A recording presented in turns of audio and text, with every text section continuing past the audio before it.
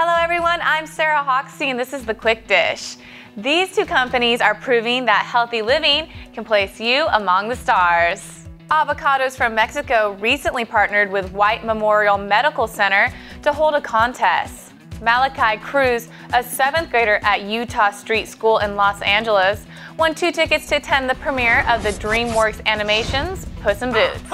The young chef won their flip cam video contest with the documentation of his journey with HELP, a program designed to educate children at risk of developing diabetes how to lead healthier lives through diet and exercise.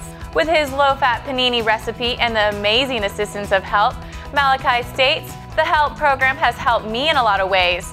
I am more active in sports, I eat better, and I learned a lot of things about the stuff I eat. This coming May promises flowers from April showers and a few industry nods. The United Fresh Foundation has begun accepting nominations for the 2012 United Fresh Retail Produce Manager Awards program.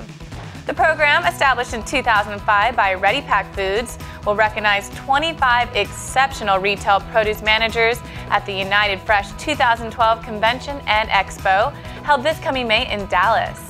Michael Solomon, president and CEO of Ready Pac Foods, states these outstanding men and women serving every day on the front line are the face to our customers, and their positive work can have a powerful impact on the entire supply chain.